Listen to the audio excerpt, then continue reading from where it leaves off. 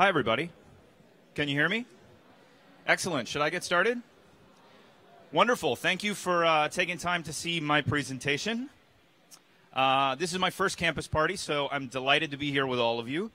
Um, so I don't know. You guys know about Justice 2.0, so I'm going to dive right into it. Um, I don't know if you know anything about me. Uh, I'm COO and co-founder of a company in Silicon Valley called Modria, and I was the director of online dispute resolution at eBay and PayPal for eight years prior to founding Modria five years ago. So my expertise is called online dispute resolution, and Modria stands for Modular Online Dispute Resolution Implementation Assistance. So we're going to talk about justice today.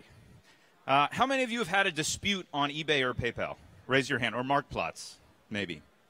All right, a couple of you. You mind tell me a little bit about your dispute? What was it? Did you buy an item and you didn't get it? That's what it was. Did you eventually get it? Or did you get a refund? Did you get a refund from the seller or a refund from, from eBay or PayPal? From PayPal. All right, great. What I always say is if you have a dispute on eBay or PayPal and you got a refund, that's my that's my process. I did that for you. If you have a dispute on eBay or PayPal and you didn't get a refund, I haven't worked at eBay and PayPal for years, so I don't know. They've really screwed everything up since I left. But how long ago was it that, that you had the dispute? Five years ago. Okay, so yeah, I was still there at that time. So what did you buy? Do you mind me asking? Uh, an SD card. Okay, sounds good. Probably that SD card, if you paid twenty-four dollar, you know, twenty or fifty bucks for it back then, is like five dollars now. So, yeah. But okay, well that's great. So you got a refund. How about, uh, ma'am? You said you had a dispute. Was it on eBay or PayPal? eBay. Okay. Did you get your money back? Okay. Was it from eBay or from the seller? It was from the seller. What was the item? Do you mind me asking? It was an iPod? Okay, sounds good. Well, that's a pretty big purchase. So, all right, well, well, that's these are good examples. I'm interested to hear more, but uh, there are lots and lots and lots of these disputes, not just at places like eBay or PayPal. You can imagine Marktplaats. Obviously, people are getting together face to face like classified sites. Those are lots of disputes. But there are also disputes for sites like Airbnb or Couchsurfing hosts and guests have disputes. Or you can imagine sites like Uber, they have disputes. Or where you rent a car where someone maybe has an accident. Uh, you can imagine there are disputes at sites like TaskRabbit, all the collaborative economy sites, they all have disputes. So we're talking about hundreds of millions of disputes. Hundreds of millions of disputes. Now, the question is what is the justice system going to look like in five years, in 10 years? FinTech, financial technology, is a huge space. It's an $8 billion space. The law, courts, lawyers around the world, that's a $450 billion space. But if you look at the way the law works today, it pretty much works the same way it worked 20 years ago, or 40 years ago, or 60 years ago. The law has not yet been transformed by technology. Finance has been transformed, medicine has been transformed, entertainment has been transformed, but not the law. Why is that? Why hasn't the legal system been transformed? It's because the lawyers have a monopoly and they're very good at protecting their monopoly. But if you had a blank piece of paper and you were going to redesign the justice system from scratch, the global justice system, no courts, no police, no jails, if you were to redesign the system, would you make a system that looks like the one we have today?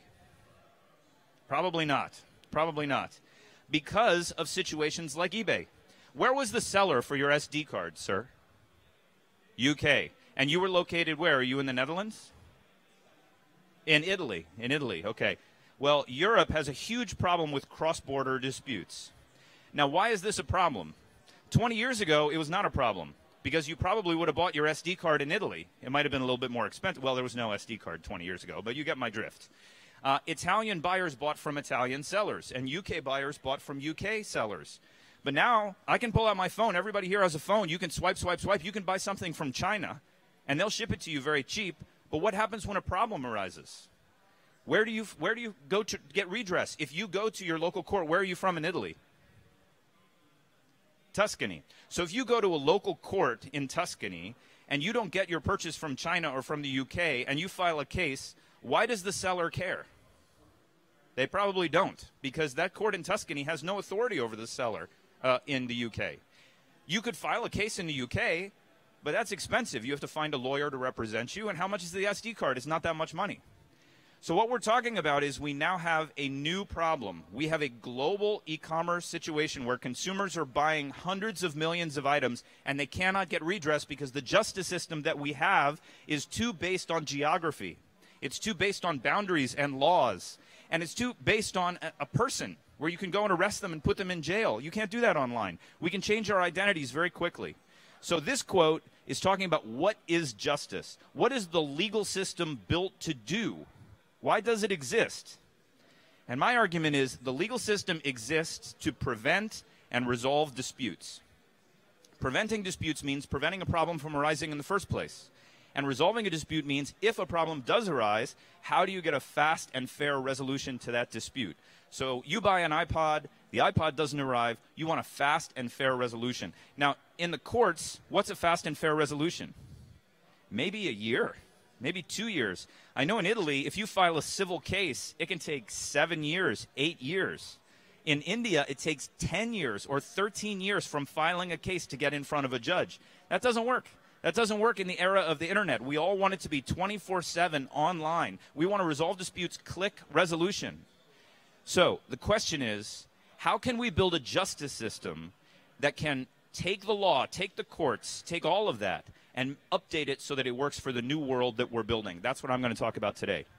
Now, online dispute resolution, my expertise, I've written a couple books on this, and I'm coming from The Hague. We just had a conference at the Peace Palace where we brought in all of the international experts about online dispute resolution, and we talked about how can we use these tools to build the next justice system. Online dispute resolution is the use of information or communications technologies to help people resolve their disputes. So it's not just resolve, it's also prevent their disputes. And that doesn't just mean the internet. The internet is a very powerful dispute resolution technology, but there are lots of other dispute resolution technologies. Another one is the phone. The phone is a very powerful dispute resolution technology. So let me talk about eBay for a minute. I joined eBay in 2003. We created something called the Resolution Center. eBay had about 250 million users at the time that I joined. Every user got their own resolution center. It's a software powered console where they can log in and they can file new disputes and they can track those disputes to resolution. We had a wide variety of different kinds of problems at eBay. One is what you experienced. That's called an INR, an item not received dispute. Another kind is a not as described dispute, where you buy something and you get it and it's different than you thought it was going to be. Maybe you buy a beautiful new laptop and they send it to you and it's old and it doesn't have the memory they promised and it doesn't work. Or maybe you bought a laptop and you get the box and you open it up and it has a brick in it. That's a little bit more of a problem. That's fraud. So we have item not received disputes and we have not as described disputes. Those are both buyer initiated problems. But we also have seller initiated problems. You know, eBay is an auction marketplace. So buyers bid on items sometimes, and sometimes they win those items and then they don't follow through and pay. So we call those unpaid item disputes. That's a very huge volume. But at eBay and PayPal, we did 60 million disputes a year in 16 different languages all over the world. And a lot of these disputes were between people in different countries. And we looked at the justice system and we said we looked at lawyers, we looked at judges, is it relevant to these kinds of disputes? And the answer is no. The average value of a dispute at eBay is about $75. So that's not enough. You're not going to get a lawyer. You're not going to take it to court, but you do need to get a fast and fair resolution. Because if you have a bad experience, if you buy an item and you can't solve that problem, you're not going to buy another item on eBay. You're going to go to Amazon. And that's pretty much what a lot of people are doing. They're going to Amazon because Amazon, if you have a problem and you call them up, they just give you your money back. So at eBay, we had to build the resolution center because we're talking about sellers and buyers. eBay is not a seller. eBay doesn't hold any of the items. We have to resolve disputes between sellers and buyers. So we wrote a software program to resolve those disputes. 60 million disputes a year is more disputes than are filed in the entire U.S. court system. And this number is growing at 20% a year, right? Because e commerce is growing at 20% a year. So we wrote a software program, the Resolution Center, and 50% of the disputes, the 60 million, were resolved amicably, meaning the buyer and the seller worked out a solution between the two of them that was okay. And 90% of those disputes were resolved in, in software only, meaning no human from eBay ever had to touch the dispute. So now we're starting to talk about AI. We're starting to talk about algorithmic resolutions. How do you write a software program that can convene conversations between millions and millions of buyers and sellers in order to get them to work out their problems? And now, is this a possibility to take some of this technology and expand it out of e commerce and deal with other kinds of disputes? Okay? The other thing that's very important is this entire resolution process that we built is extrajudicial meaning none of the decisions that we delivered are enforceable in a court. You can't take an eBay decision and go to a judge or go to a court and say, eBay decided this, you have to enforce the outcome. This process is entirely separate from the courts. But what we found is 99.999% of the disputes that we resolved at eBay, they were never appealed to the courts. We didn't block the consumers. They could go to court if they wanted to, but no one ever did because they found that this process was trustworthy enough to be a fair resolution to the issue, and then people moved on with their lives. Okay, so let's talk about this from the e commerce perspective first. The reality is the courts do not work for online disputes. They simply don't work. There is no way that we can take the law the way it currently works and apply it to these high volume, low value, cross border disputes and make a resolution process that operates. So companies like eBay are building their own justice systems. That's what eBay asked me to do build a civil justice system for all of our 250 million users. Now, 250 million users, that's a lot of users. I would go to conferences like this and I would say if you counted up all of eBay's users as citizens, we would be the fifth largest country in the world, which is pretty impressive. But then I was on a panel with a guy from Facebook, and he said, Well, we have 1.3 billion users. And if you counted our users as citizens, we'd be the third largest country in the world. And we're gaining on number two, which is India. So my, my 250 million didn't sound very impressive anymore. But if you look at the growth of some of these sites, not just e commerce, you have eBay, you have Amazon, you have Alibaba and Taobao in China. These are huge sites. But think about the other kinds of disputes that are arising in social networks that are getting bigger all the time as well. We need to figure out a way to resolve bullying disputes. We need to figure out a way to, to solve intellectual property disputes. How are we going to do that with the existing system? So, my argument is online dispute resolution works the way the internet works. You don't have to have one court that's overseeing the whole world with the ability to go out and arrest people. You can build resolutions into the transaction environments. Every single website needs to have its own resolution center. Every user needs to have a resolution center where they can push a button on a mobile app or on a website, report a problem, and get an instant resolution. And the vast majority of those resolutions must be algorithmic. They must come from AIs or algorithms that can look at their information, make a quick calculation, and decide the appropriate outcome. That's the kind of resolution that delights customers. Not picking up the phone, not getting on an online chat, not waiting, you know, the phone tree where they say, press one for this, press two. No one likes that. That is very 1986. That is gone. Now we need to have algorithmic resolutions. So, what I want you guys to get excited about is think about a kind of dispute in your head and then think what what would these approaches look like if we applied it to those kinds of disputes? All right. Right now online dispute resolution is being pushed very very hard by governments all around the world because they've looked at this problem and they know the existing judicial system can't keep up. Already lawyers lawyers are having problems getting new cases because the services that they offer are not relevant to these types of transactions so we're talking about relatively low dollar value civil transactions, okay? Not criminal. Criminal's a different story. At eBay, my department was in a group called Trust and Safety. That was the name of my team.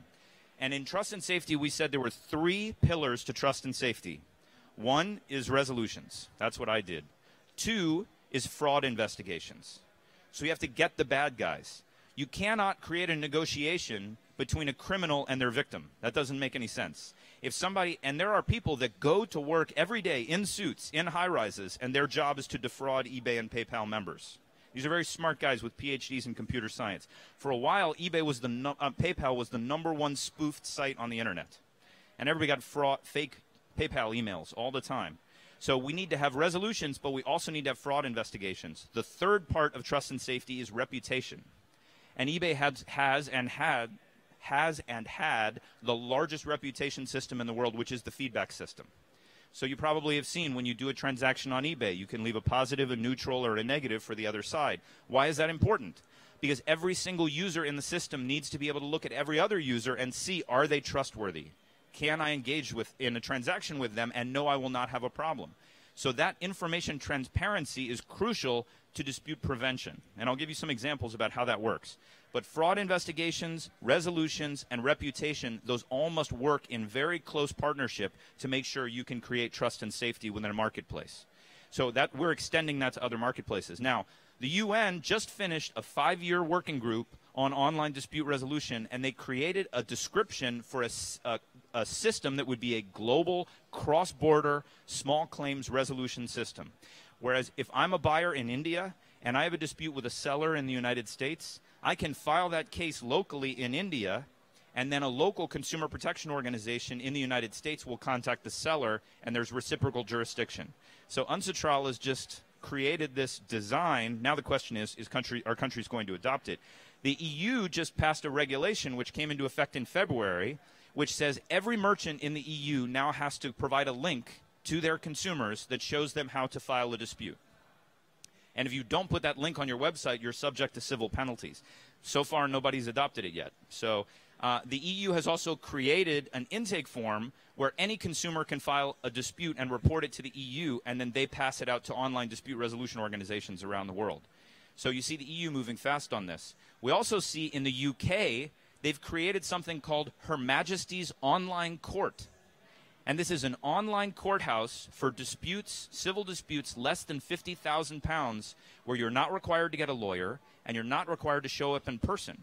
But you can file a case and you can carry that case through to resolution, and the outcome that you get from Her Majesty's online court has the same force, the same enforceability as a decision that you get from a judge in person. The same thing is happening in British Columbia, in Canada. They've created something called a Civil Resolution Tribunal. So, what are we seeing? We're seeing experiments that are starting to digitize the justice process and to use the kind of approaches, approaches that I'm talking about here. Now, I'm about to show you some screenshots, which I think are going to make this a lot more real. But the point that I'm making is anyone who's looked seriously at this challenge of building the next justice system they realize you've got to do it with the kinds of tools we have in online dispute resolution. You can't use the traditional legal model. It's too expensive, it's too tied to jurisdiction, and it doesn't scale. Okay, now let's think broadly about all the different areas where this is relevant.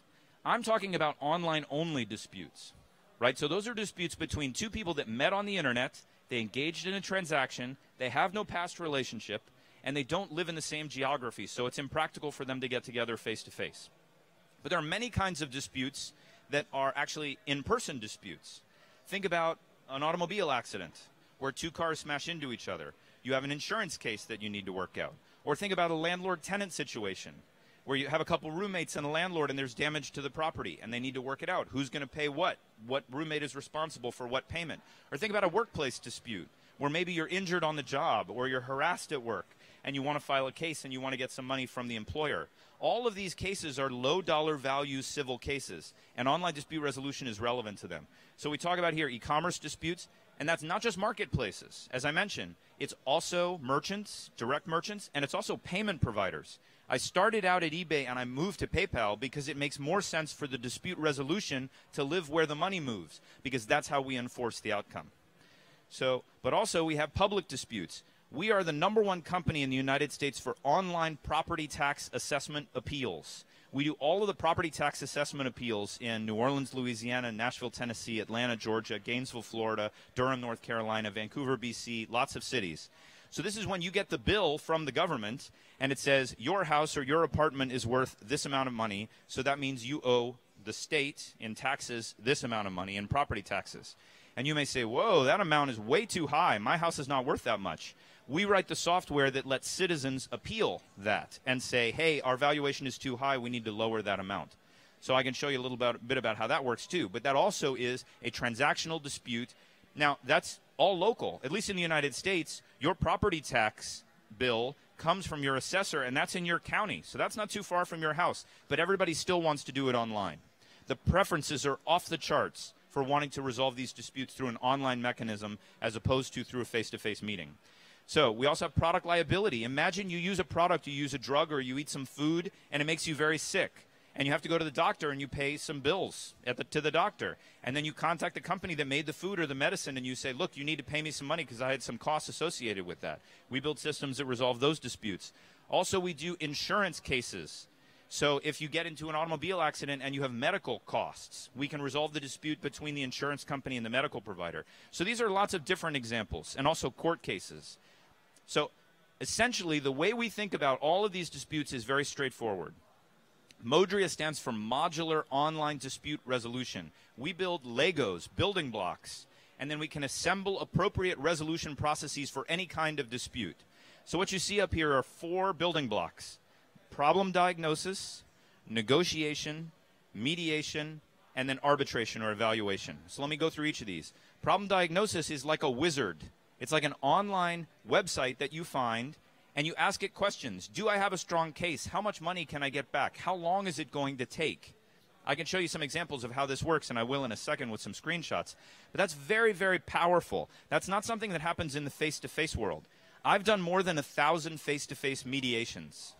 And in face to face mediations, usually the parties negotiate with each other and they get very frustrated, and then they call me only after they've reached impasse, meaning they can't resolve the issue themselves. Online, however, with Diagnosis Wizards, I can talk to the complainant, say the consumer or the, the tenant or whoever is initiating the case. I can provide information to them before they even communicate with the other side, before they even tell the respondent that they have an issue. I can set expectations. I can let them know what their rights are. I can show them other resolutions to similar kinds of disputes that say, oh, okay, well, that might be a good way for me to resolve my issue. So diagnosis is very powerful, and I'm going to show you with a very complicated dispute type in a second. All right, the second part is negotiation. You guys know what negotiation is, right? We all negotiate all the time. We negotiate with our kids. We negotiate with our parents. We negotiate with our boss. When you buy a car, you negotiate. What's the price going to be? Everyone's always negotiating. But direct negotiation between two parties can be helped by technology. You can create an environment where the two people communicate with each other and they make offers. Hey, I'll give you $1,000 to resolve this case. Oh, no, I want $2,000 to resolve this case. Or maybe you can provide them a key piece of information. At eBay, we had a, the number one kind of dispute that we had from buyers at eBay was exactly what we just talked about item not received. I bought my item and I didn't get it. And the number one resolution to that dispute was the item arrived. So what happened? The seller shipped the item to the buyer, and it took a long time. And the buyer started to get worried. Where's my item? Where's my item? Now, in a lot of those cases, the buyer would file a chargeback or the buyer would file a dispute.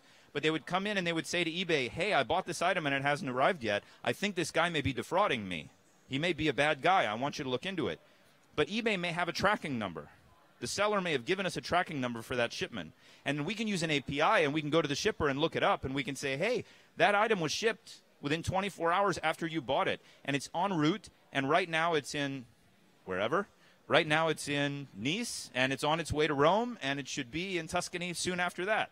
So then the, the, the buyer goes, oh, okay, let me wait five more days. And then the item arrives. So you can resolve a lot of disputes with a key piece of information in the diagnosis phase or in the negotiation phase. Now, mediation is where you have a third party not involved in the dispute. So they're not one of the disputants, they're a separate expert. And they come in to assist the negotiation. They don't have any power to decide the case. All they're helping to do is to clarify issues, ask questions, make suggestions, reframe the issue. So mediation is not useful in all cases. The last step is arbitration. And this is what we think of like a court, where a third party comes in, they talk to both sides, they gather the information, and they render a decision. So the beauty of arbitration is it provides an answer in 100% of cases. But arbitration is very expensive. So you can think of each of these modules like a filter. And at eBay, we called it drinking from the fire hose. We had 60 million cases coming in. We only had 25,000 employees. There's no way that we could work all those cases. So the beauty of diagnosis and negotiation. Do I have a laser here? Yeah. The beauty of diagnosis and negotiation is it's all software. We can deliver that software at scale, and if it's really smart, if that software is really smart, we can resolve 90% of cases before it gets to mediation and arbitration, which are the manual processes, the human powered processes. So let me make this a little more real for you, okay? Because we're talking at a high level. Why don't we dive in and look at an example of how a system works? Now, I could show you an e commerce case, but that's pretty simple. So I'm going to show you the hardest kind of case that, that we work with divorce. Okay? We build a system for the Dutch Legal Aid Board, and it's called the Rechtwijzer. So in the Netherlands, 75% of divorces in the Netherlands are paid for either fully or partially by the government. So the last 25% are people with very high incomes. They have to handle it themselves. But what this means is the Dutch Legal Aid Board did an experiment with us to write a piece of software that would help a couple who is thinking about getting a divorce and then take them through the divorce and take it all the way through to the divorce being filed with the case, the court, and then even after the divorce being filed with the court. So this is a great platform, and I'll show you what it looks like in Dutch in a minute. This is the English translation. This is live right now. If any of you are Dutch and you want to get a divorce, rechtwijzer.modria.com, go for it. Uh, you can go try it out. Um, if your income is low enough, it'll be free. But uh, if uh, your income is a little bit higher, maybe you have to pay a little bit of money. Um, so I'm very proud of the fact that I've helped a lot of people get divorced in the Netherlands. But we've launched this software now in the UK for an organization called Relate. They're the number one family charity that does divorce. And we've also launched it in Canada, in British Columbia. So there are people all around the world. Now, when I started doing online dispute resolution 20 years ago, my policy was no divorce, no family disputes. Because I thought it's such an emotional dispute. It's the people know each other so well, and they probably are in the same place. It didn't make sense to do it online. But what's changed in the last 20 years? Now, not only do we get divorced online, this is how we find our spouses online. Everybody's using Grindr and Tinder and Match.com, and you're swiping right and swiping left. My kids, my teenagers, they make up online, they break up online. I mean, my supposedly my son has a girlfriend. I've never met her. They only hang out on Skype. So eventually, they're going to break up, and it's going to happen online. They're not going to need a divorce, hopefully, but uh, we'll see. So let me walk through this process, and I'm going to show you how this works. Okay? Now we have a map that we've created. We worked with an organization in The Hague called HiiL, the Hague Institute for Innovations in Law. And HiiL convened a working group of family mediators, family attorneys, family court judges, social workers, psychologists, and we came up with what we call a justice journey. This is a journey that starts at the absolute earliest moment. So imagine, I don't know how many of you are married, but if you are, you've probably had a fight, a pretty tough fight. And imagine you're in that fight and you say, you know what? I might need to get a divorce. I might need to end this. What's the first thing that you do? You've never had a divorce before. You don't know anything about it. What's the first thing you do? You go to Google. You go to Google, you open up a browser, and you type in divorce. What's Dutch for divorce? Okay, you type in that. I don't know what it is, but that's what it is. So you type that in. You don't know anything about divorce. Uh, we want our site to be the first result. We want that to be the first result that comes up. So what do you you don't know anything about divorce. You don't know what your rights are. You don't know what the law is. You don't know even what the process looks like. So the first step is diagnosis. And this is what the diagnosis process looks like. You come in, you're not even putting in your name. We don't know anything about you. You haven't created an account, you haven't done anything. The goal of this process is to start to educate you and ask you questions. Now, maybe you don't know that you want to get a divorce. Maybe you want to try and fix it. Maybe you want to test the strength of your relationship. Maybe you want to know what are some communication tips that we can use to work it out. So we have all of this here. We have relationship tests. We have ways that you can go and say, you know, is it time? How do you talk to your partner about this? Now, it may be that you have that idea in your head and you say, you know what? I know I want to get a divorce. I want to move forward with this. Other people, they don't know. But this expectation setting is very important because you need to know what information are you going to need to have. Now, we did tests at Stanford Law School. I'm, I'm a fellow at Stanford Law School. I've been there for the last 15 years. And we did tests where we provided this information from a human and we provided this information from an algorithm. And what we found is that people actually trust this information more from a wizard, an online wizard, than they do from a human, which a lot of the lawyers didn't like that. But why is that the case? If you go see a lawyer, that lawyer is sizing you up. That lawyer is looking at you. They're probably asking themselves, is the divorce this person's fault? Do they have a lot of money? Do they have a lot of assets? Is this a good client for me to have, or do I not want to get into this? Is this going to be a mess? There's a lot of issues that happen, and it's embarrassing to go to a, to a human and talk through all of the problems in your marriage. People avoid that. And a lot of people stay in bad marriages because they're so worried about the shame associated with going through this. If you provide this on the internet, there's no shame. That's fine. Open up an incognito window, knock yourself out.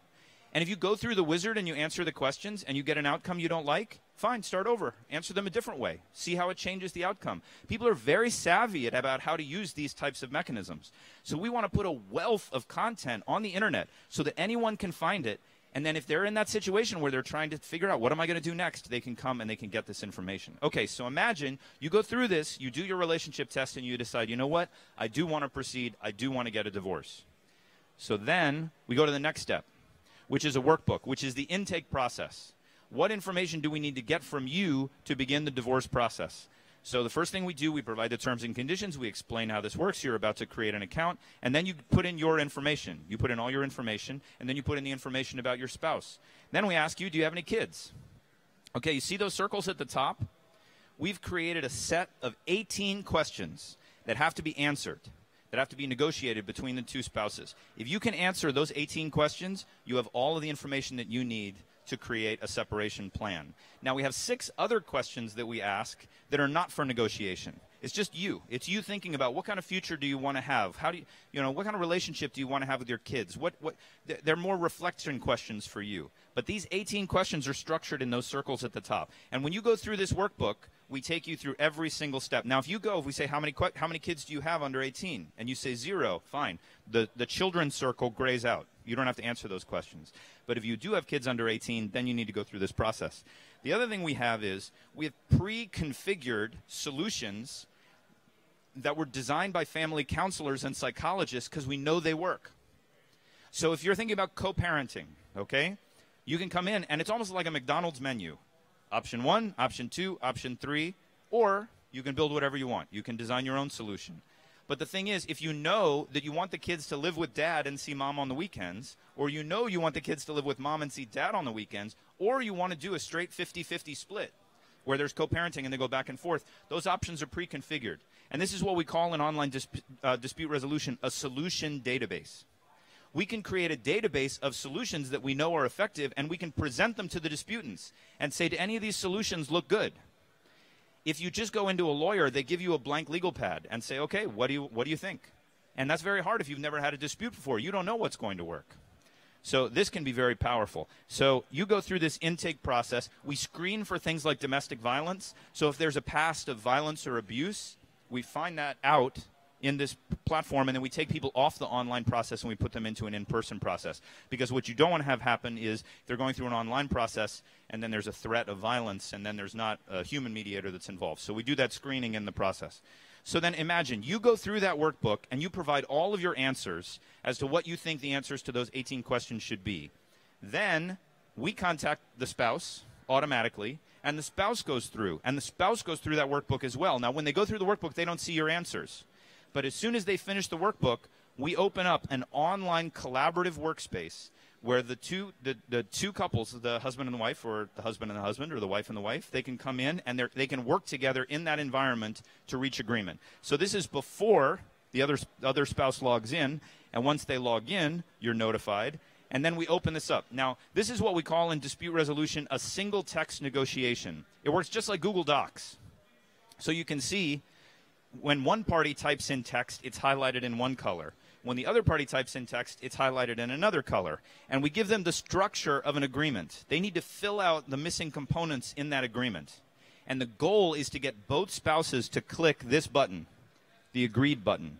If both sides, they say, this text here, I'm okay with it, you're okay with it, great. That means we've reached agreement on this component of the separation plan. And you can see, I don't know if you guys can see this laser, but up here, we have a tracker. And the tracker shows how much agreement you've already achieved. Do you see the white circles outside of the circles at the top? That shows how much you've completed of each of those areas. Now, let me be clear. You don't log in and get a divorce in 30 minutes. This is not a quickie thing. Some people, it takes months for them working through this platform to negotiate the separation, to figure out all the details that they need to work out. Now, okay, so you have this process. The other thing we have, we have a one, we have a free dial-in number, a one eight hundred number, there, so you can dial in. You can talk to somebody from the Dutch Legal Aid Board.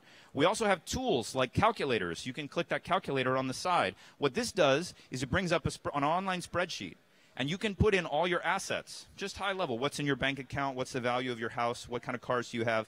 And it will automatically generate a suggested amount for spousal support or for child support.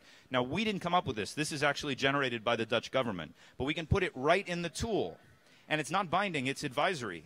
So you can get this number, and it's a suggestion, and then you and your spouse can then continue to negotiate it.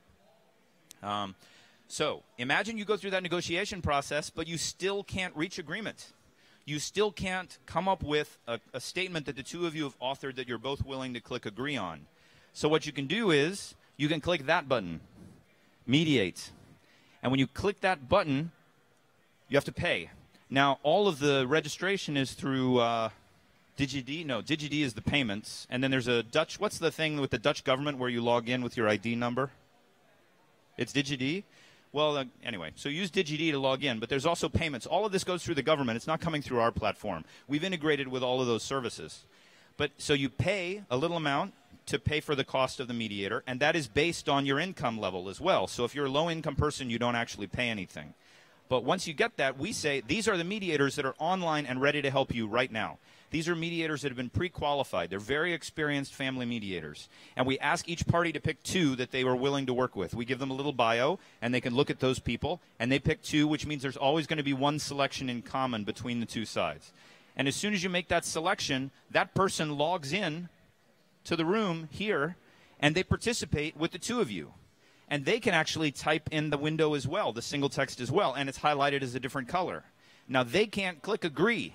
You still have to click agree, but the mediator can help you, and you can see down at the bottom. We can't see it that well, but we have a discussion environment where you can post messages back and forth, and you can talk over possibilities and say, "What about this?" or "What about that?" Where are the kids going to be for Christmas? Who's going to pay for summer camp? How are we going to get him back and forth from, you know, soccer practice? All those questions can be worked out. Okay, we also have, you can see right next to it, we have a decision button.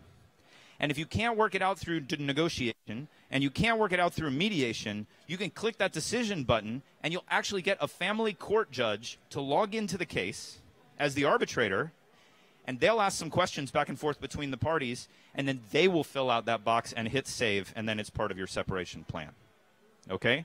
So just like I showed you, diagnosis, negotiation, mediation, and then evaluation if necessary. Okay, so then you go through this process and then you can see your entire entire separation plan. This is the actual text that you authored with your spouse or with a mediator or with the arbitrator. And once you get this full separation plan complete, you can click a button and you can submit it to the Dutch Legal Aid Board. Now, the Dutch Legal Aid Board, uh, the ROD, they have lawyers that will come in and evaluate your separation plan and make sure that it's within the guardrails of Dutch law. Because sometimes, I mean, you can imagine if you have a divorce, maybe one spouse has cheated on the other spouse, and they say, I feel so bad, I'm so sorry, take the house, take the car, take the kids, take all the money, I'm going to live in a cardboard box by the river, I'm so sorry, I am a horrible person. Well, that may make them feel better for five minutes, but that's not sustainable. That's a disaster if you have an agreement like that. So, this legal review stage makes sure that an attorney looks at the agreement agreed to by the parties, and if they say this is not sustainable, this is not within the guardrails of Dutch law, they push it back to the parties. And then the parties can go in and continue to negotiate it to come up with an outcome that's, that's legally acceptable. But once it passes legal review, then it's automatically submitted to the Dutch Legal Aid Board and filed with the courts, and there you go the divorce is complete. So that means no attorney is required and no in person appearances in the court are required either. Now, the last step, which is very interesting, is aftercare. Okay? So, most of the time, when you do a separation agreement, as soon as you have the separation agreement filed with the court, you're done. Okay? Thank you very much. Good luck. But with this platform, we keep this environment open because it may be that you want to go back and consult. What agreement did you come up with? You know, did we agree that it was going to be Christmas was going to be with, with me or Christmas is going to be with you. You can go back and refer to it. Or you can renegotiate certain points. Maybe after you try out the agreement, it doesn't work. It needs to make adjustments. Or you may need to share documents. Or you like share report cards or figure out financial arrangements for the future. All of that's available in this platform. So this becomes an online home that enables the two disputants not only to resolve the initial dispute they have, which is the terms of the separation, but also to make sure that that agreement continues and stays healthy and they can adjust it as they move forward. Any comments or questions on this? I know this is a lot different. You probably thought we were going to talk about e-commerce when we first sat down. But yes, please. What is the identification? Yeah, so how do the people get identified? Uh, if it's really them, uh, if it's their partner filling the other the other side filling it out. Uh, it's an excellent that? question. So we do use the authentication mechanism of the Dutch government. So my understanding, when you log into any government sites or even the hospitals, you have to log in with a certain uh, uh, identification. So we essentially use that authentication mechanism as a proxy. Now we don't have that in the United States.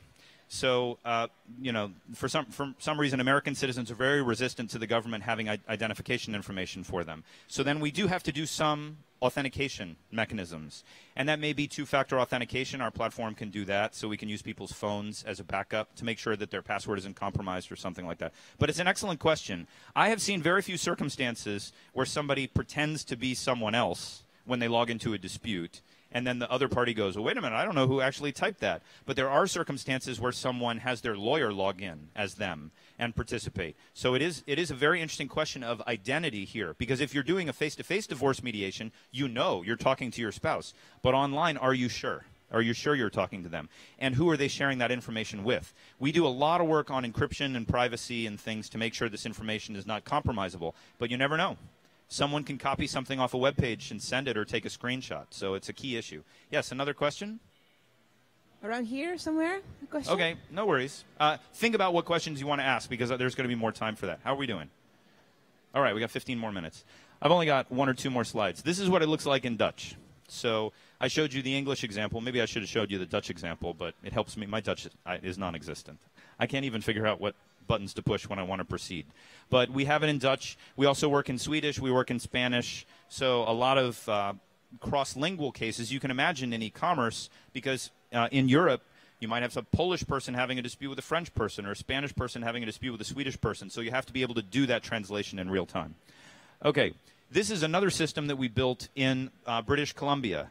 And you can see there's other kinds of disputes we've also integrated. So we do wills and we do uh, landlord tenant and we do other kinds of things. Eventually, I think the vast majority, just like I remember when they first introduced ATMs to get money out of the bank, and all the bankers said, no one's going to use these ATMs because you want to have a relationship with your banker. You want a person. You don't trust a machine with your money. What if they give you the wrong amount of money? You can't negotiate with them.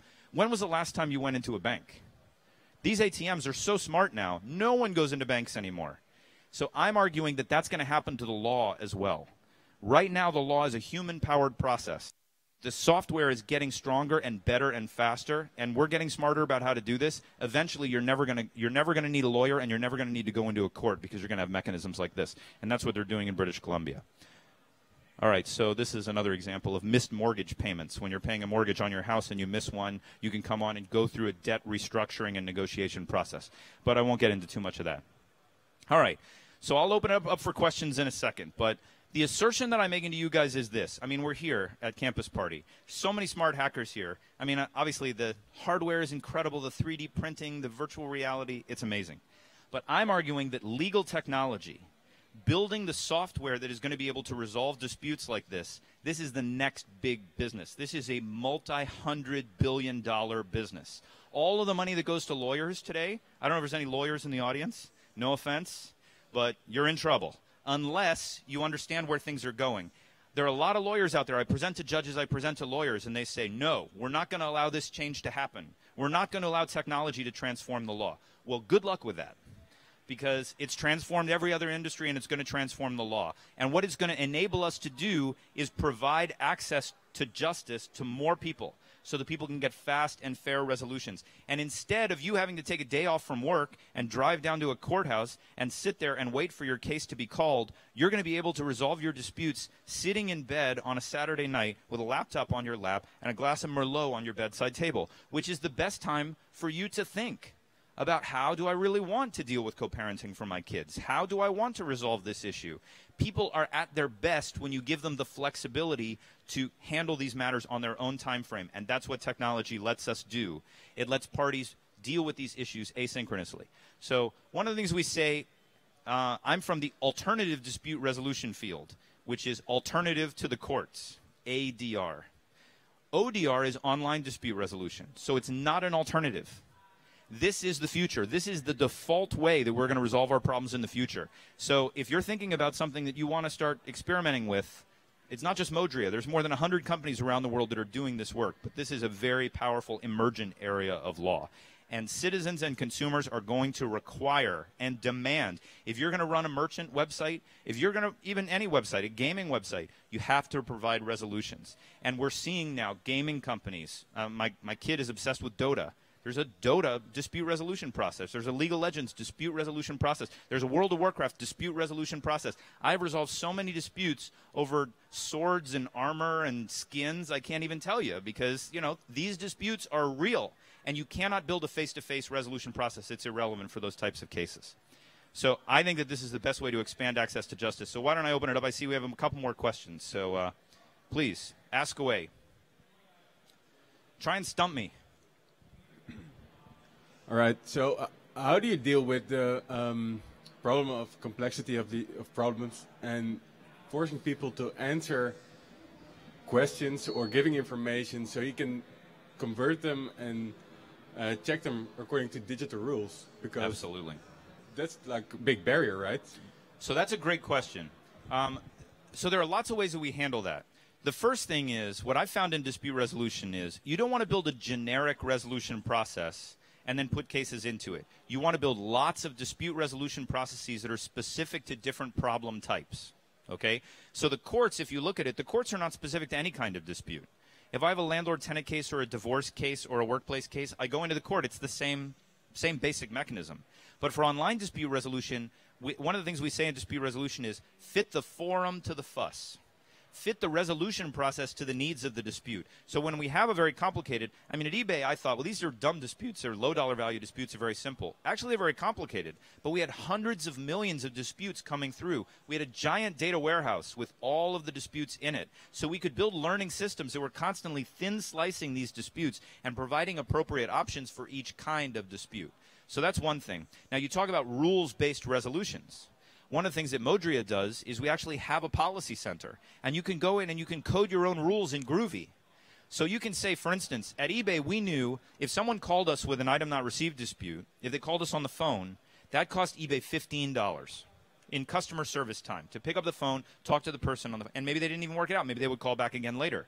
So if the dispute is worth $10, you should not require them to call in because eBay's going to pay $15 to resolve a $10 dispute. So you can write a rule that says if this is the first time that this buyer has ever filed a dispute and the value of the dispute is less than $12, say, automatically provide a refund and send them an email that says, oh, I'm so sorry you had this experience. We've just given you an automatic refund because you're saving money and you're delighting the user because they get an instant resolution. Now, you can also code a rule, rule in Groovy that says if the dispute is over more than $1,000, automatically escalate them to the white glove service team and have a customer service rep call them because then you want to spend the $15 to make sure that consumer is happy because they're buying high dollar value items. So being able to write these rules, it's not about auto decisioning all the time. Sometimes it's about about auto routing.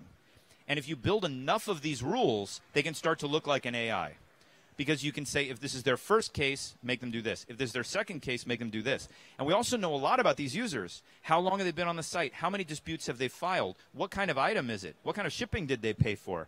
All of that information we have at our fingertips. So we can dynamically use that data in our data warehouse to build an appropriate resolution process that fits the forum to the fuss and handles the complexity. So that's just a sample. Your question is bigger than that, but that's an, an example of how we deal with some of those issues. So thank you. Okay, yeah. Sorry, I stood on that side. I didn't even didn't come over and look at you. But hello, thank you for being Uh, in the presentation. Thank you. Thank you for your presentation also. Um, uh, can you explain uh, more in detail the sentence that appeared before on the screen? Sure. Um, Which one? dynam- dynamically tuned of research over investment and loyalty? Sure, absolutely. That's a great question. I think it was on this slide. Well, maybe not. So let me tell you, uh, because we did a lot of research at eBay and PayPal because we had these hundreds of millions of disputes. So one of the things we found at eBay that's a little counterintuitive is we found users would rather lose a dispute quickly than win a dispute and have it take a long period of time. Because we were looking at something called Net Promoter Score, which is a metric of satisfaction. So if someone lost their dispute within 24 to 48 hours, their satisfaction with that outcome was higher than if they won their dispute and got all their money back, but it took 12 days or more. So 12 days was when the frustration got. Now, why is that? Because you have an open dispute. It's just annoying. It's annoying to have to go back and not know what's happening. So we actually did a very large study at eBay where we looked at millions and millions of buyers, and they were in a, in a particular active month on the site. And we looked at how active they were, how many transactions they did in the six months prior to that active month, and how many transactions they did in the six months after that active month. And then we split them into two buckets who had a dispute in the active month and who didn't have a dispute in the active month. Now, what we found at eBay is the reactivation rate for buyers is about 105%. So that means the average user is increasing their activity on eBay and PayPal by a little bit. What we found is that users that did not have a dispute increased their activity about 105%. Users that did have a dispute and went through our resolution process increased their activity at about 110, 111%. So that's 6%. We're talking about tens of millions of dollars. Now, if you look at the type of outcome that they got, if somebody won their dispute and they worked it out through mutual agreement, their activity on eBay increased by 18% versus people that never had a dispute in the first place. Now, when I showed this information to the CEO, he said, You're telling me we should be giving our users disputes. I said, No, that's not what I'm saying. I'm saying when they have a dispute, that's the loyalty moment. Because that 18% lift is higher than the lift that we got through gift cards. It's higher than the lift we got through marketing. It was an incredibly high amount. Now, the other thing that was interesting is if someone filed a dispute and lost the dispute, they still reactivated at 107%, 108%. They reactivated at a higher rate than somebody who never had a dispute in the first place. Now, why would that be true? Because when you go through a resolutions process and you realize that a fast and fair mechanism is available to resolve those cases, then you say the next time you sit down to buy an item, you go back to that website. You go back to eBay if you if you have a process where there isn't a resolution and you, you, you say you buy a game and you give it to your nephew and it's and it's a PS3 game and he goes, "Oh, I've got a Wii." And then you go on the website, you can't figure out how to return the problem. You look everywhere. You, you, you send emails, no one responds to you. The next time you sit down to buy a video game, you're not going to go back to that website. But if you learn, if you invest in figuring out how to solve the problem, and you have the confidence that there is a fast and fair resolution there, then your activity increases. So I think you're, you're talking about reactivation and activity and loyalty, and I think that there's a lot of data that shows that these processes are one of the most cost effective ways to increase that. Did I answer your question? Uh, a little bit. Do you want to ask more, or should we move on? Okay, all right. Please. Uh, thank you. Uh, do you have any open software for this kind of uh, algorithms that you have, like to make more popular to people build websites with that technology? Absolutely.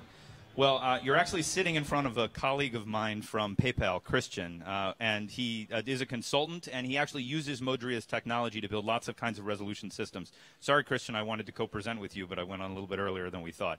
But so we actually do have open source dispute resolution platforms that are available. Uh, Modria bought a company called Juripax, which was one of the leading online dispute resolution platforms. It was actually based here in the Netherlands, and we've open sourced some of that technology. But Modria is an enterprise SaaS multi-tenant platform, and it's configurable by configurators. So Christian has a team of configurators that we create instances of Modria, and then his configurators will go in and tweak it for different types of dispute volumes. So we do, uh, you know, I teach classes on online dispute resolution and we provide instances of Resolution Center for people to experiment with. So if you'd like one, give me a call. Actually, my information is at the end of the slides, and uh, and then I'll send one to you, and you can play with it. But it's actually it's all built in Java. It's all open. It's you know it's based on MySQL and Tomcat and things like that. Um, so it's all standard technologies. We have a full API. It's fully documented. We have a full set of webhooks in the platform. So here's my contact info. If anybody wants to play with these tools, just hit me up here at this email, and I can send it to you. Yes. Other questions? In the corner was the first one. Um,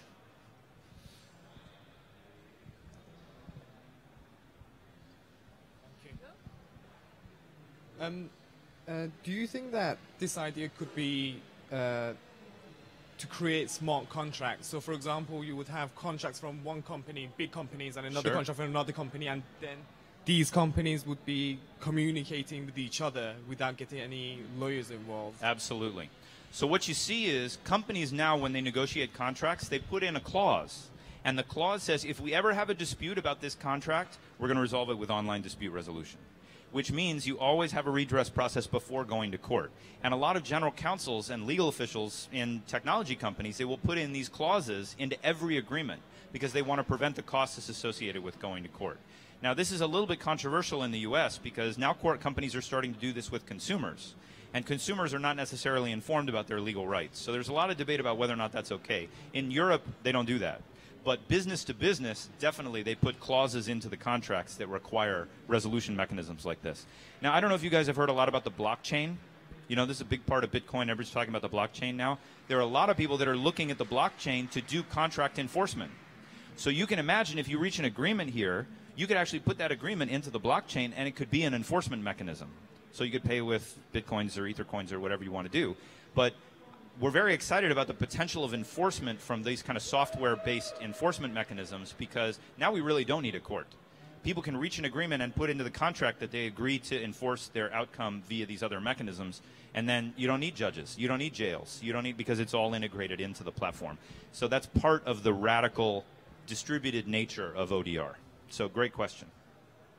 All right, we're getting to the end. More But yes, questions? I was wondering what would happen to the juror system, uh. Well, you your guys- legal system. You guys don't have jurors in the Netherlands, right? That's very interesting because in the United States we talk a lot about 12 angry men. Let me give you another example. At eBay, I'm sorry, I'm sorry, digress. But at eBay we created something called the community court. And this is where if two users have a dispute, these are for feedback disputes.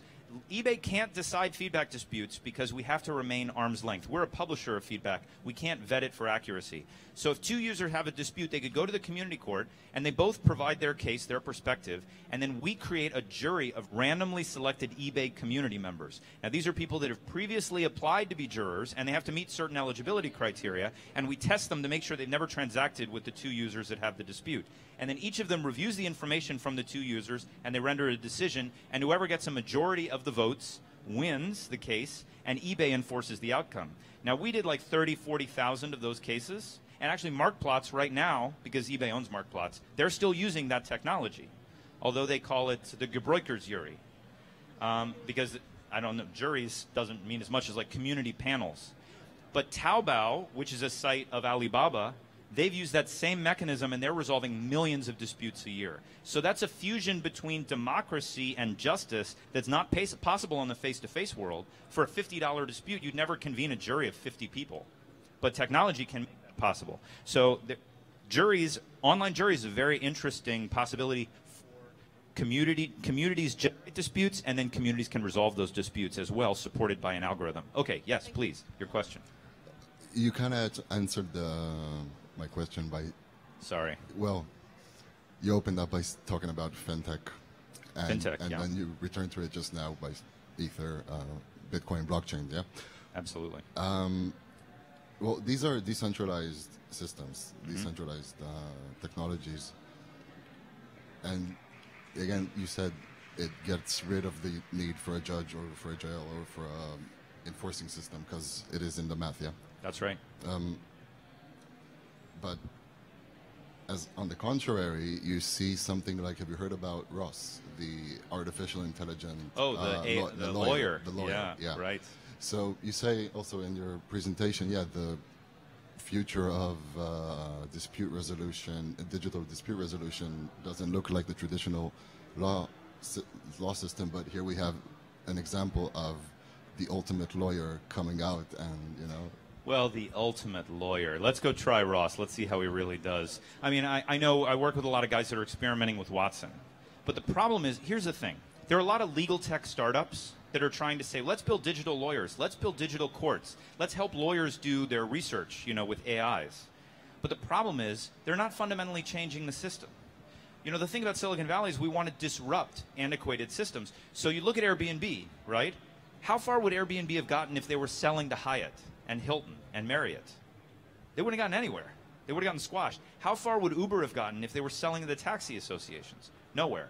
You have to build a new system from scratch that works better. So the notion of building a digital judge is you're using technology to implement the old model. These diagnosis wizards that I'm talking about do the same thing that a judge, um, not a judge, a lawyer, do the same thing that a lawyer does. They can look at millions and millions of articles. They can give you solutions. They can educate you about what your options are and help you think through those possibilities. I think that that's a better model for the future of justice than building digital judges and building digital lawyers and building digital courtrooms and somehow having all these AIs communicate with each other in the old mechanism. That's old school, man. That wasn't the way we resolved disputes 200 years ago, or 1,000 years ago, or 2,000 years ago. This is what the future of resolutions is going to look like, and it's based on negotiation where people work out the problems themselves, assisted by software. So maybe I'm being unrealistic. I, I mean, I have a little self-interest in this. I'm running an ODR company, but I want to dis- I want to blow up the old system and build something that's better, as opposed to just use t- technology to streamline an existing system which is out of date. So. Thank you so much. We're out of time, but uh, it was uh, very much Thank worth you. the extra time. I'd say onto a more justice uh, society in the near future, right? Okay, great. Uh, will you be around in the speakers cafe for some more Q and A? Definitely. Okay. If anybody has any questions, I'll be right over here at the You side. know where to Happy find to give you a card, and if you want to play with the technology, I would love that. So thank you so much for having me. It was great. It was very interesting.